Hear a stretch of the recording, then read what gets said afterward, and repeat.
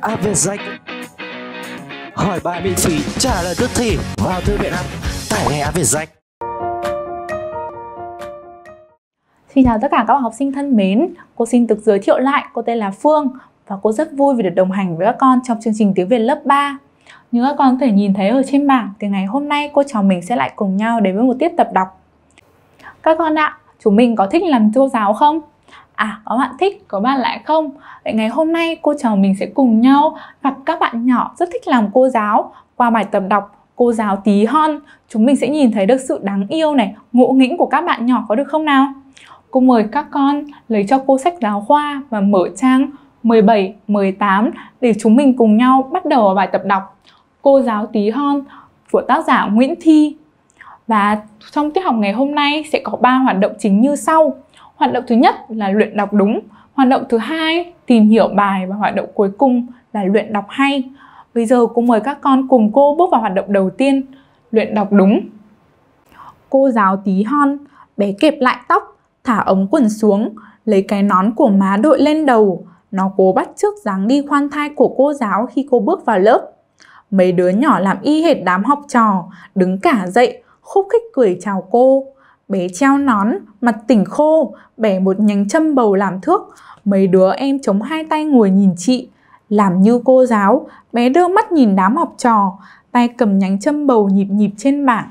Nó đánh vần từng tiếng, đàn em díu dít đánh vần theo.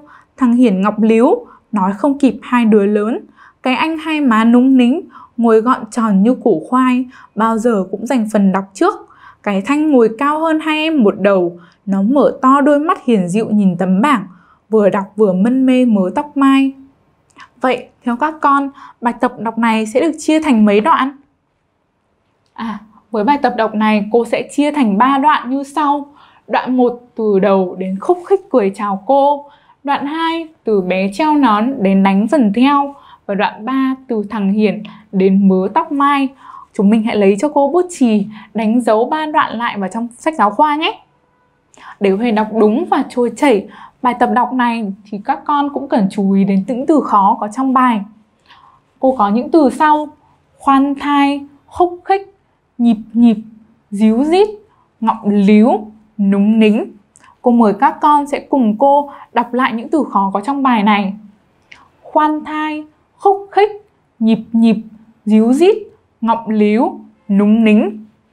Ngoài việc đọc đúng được các từ khó có trong bài thì các con cũng cần phải chú ý đến việc ngắt nghỉ câu sao cho thật là hợp lý. Trên đây cô có một câu dài cần phải ngắt nghỉ. Cô sẽ đọc lại câu này và chúng mình sẽ lắng nghe xem cô đã nghỉ ở những vị trí nào nhé. Nó cố bắt chước dáng đi khoan thai của cô giáo khi cô bước vào lớp. Các con đã tìm ra cô đã ngắt nghỉ ở vị trí nào chưa? Trên đây chính là phần ngắt nghỉ của cô. Các con lại dùng bút chì đánh dấu vào sách giáo khoa nhé. Bây giờ cô và các con sẽ cùng nhau giải nghĩa các từ khó có trong bài ở phần chú giải. Từ đầu tiên là từ khoan thai. Khoan thai có nghĩa là thong thả, nhẹ nhàng. Khúc khích nghĩa là tiếng cười nhỏ, liên tục và có vẻ thích thú. Tỉnh khô là vẻ mặt không để lộ thái độ gì hay tình cảm gì. Châm bầu là cây cùng họ với bảng, mọc nhiều ở Nam Bộ À, cô nghĩ là có rất nhiều bạn chưa nhìn được cây châm bầu bao giờ đúng không? Trên đây chính là hình ảnh của cây châm bầu các con ạ. Các con cùng quan sát. Đây là loại cây cùng họ với cây bàng, hay xuất hiện ở chắc cổng trường đấy. Chúng mình có thấy cây châm bầu cũng rất là to lớn này, cao và xung xuê phải không nào? Từ cuối cùng là từ núng nính, nghĩa là căng tròn, rung rinh khi cử động.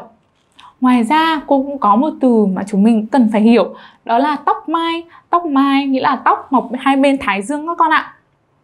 Như vậy là cô trò mình đã cùng nhau đi qua hoạt động luyện đọc đúng. Bây giờ cô mời các con cùng cô bước vào hoạt động thứ hai, hoạt động luyện đọc hay. Tóc mai là từ cuối cùng mà chúng mình cần phải hiểu nghĩa. Vậy là cô chồng mình đã cùng nhau đi hết hoạt động đầu tiên luyện đọc đúng. Bây giờ cô mời các con cùng cô bước vào hoạt động thứ hai, tìm hiểu bài các con sẽ cùng cô đọc lại bài tập đọc này này để khám phá bài tập đọc cũng như trò chơi của các bạn nhỏ nhé. Câu hỏi đầu tiên, chuyện có những nhân vật nào? À với câu hỏi này thì chúng mình có thể dễ dàng trả lời phải không nào?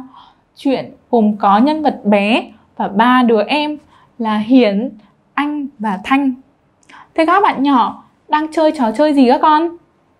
À, các bạn nhỏ đang chơi trò chơi dạy học. Bé thì là cô giáo, còn ba đứa em là học sinh.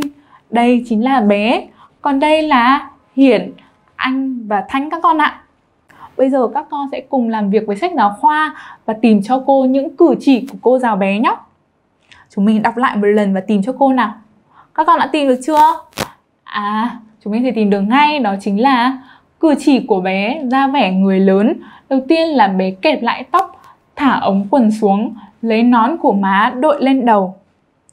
Cử chỉ thứ hai đó chính là bé bắt chước cô giáo vào lớp. Bé đã làm gì các con nhỉ?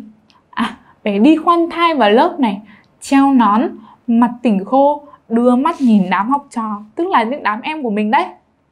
Cuối cùng là bé bắt chước cô giáo dạy học, bẻ nhánh châm bầu làm thước, nhịp nhịp cái thước và đánh vần từng tiếng. Chúng mình có thấy bé rất là giống một cô giáo không nào?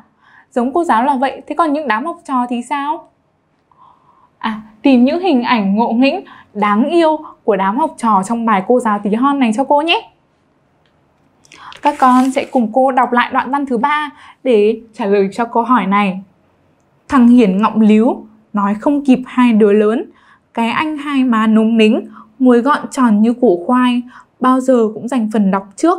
Cái thanh ngồi cao hơn hai em một đầu, nó mở to đôi mắt hiền dịu nhìn tấm bảng, vừa đọc vừa mân mê mớ tóc mai. À, các con có thể trả lời được ngay đúng không? Đầu tiên là đám học trò thì làm y hệt học trò thật này Đứng dậy, khúc khích chào cô, díu dít đánh vần theo cô đúng không nào?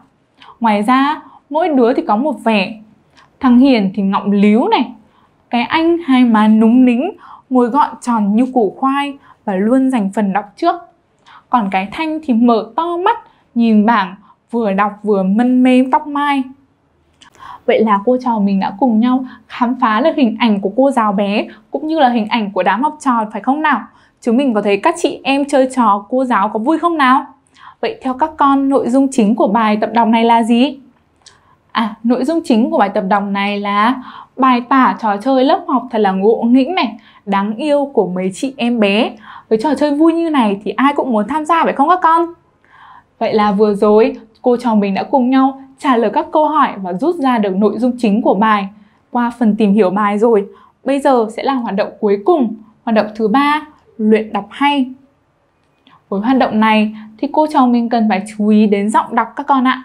Giọng đọc của bài thì vui, thong thả và nhẹ nhàng. Cô đã lựa chọn ra một đoạn văn để chúng mình có thể luyện đọc với cô. Trên đây chính là đoạn văn. Theo các con là chúng mình sẽ cần phải nhấn vào những từ nào khi lập đoạn văn này? À, chúng mình sẽ nhấn vào những từ sau kẹp lại này, thả, đội lên, khoan thai, khúc khích. Các con hãy gạch chân những từ này vào sách giáo khoa để tí nữa chúng mình đọc chúng mình sẽ nhớ nhấn giọng nhé. Các con lắng nghe cô đọc mẫu đoạn văn này. Bé kẹp lại tóc, thả ống quần xuống, lấy cái nón của má đội lên đầu. Nó cố bắt trước dáng đi khoan thai của cô giáo khi cô bước vào lớp. Mấy đứa nhỏ làm y hệt đám học trò, đứng cả dậy, khúc khích cười chào cô. Vậy là các con đã lắng nghe cô đọc mẫu đoạn văn này. Các con thể lựa chọn một đoạn văn khác để luyện đọc hay nhé. Về nhà chúng mình hãy ghi nhớ nội dung chính của bài này, luyện đọc thật nhiều bài tập đọc cô giáo tí hon để chúng mình đọc thật là trôi chảy. Và hoạt động 3, luyện đọc hay cũng là hoạt động cuối cùng cho tiết học ngày hôm nay. Hẹn gặp lại các con trong những tiết tập đọc lần sau. Tạm biệt các con. Khóa học viên rách Sự lựa chọn của hàng triệu phụ huynh và học sinh Trải nghiệm ngay khóa học của Vietjet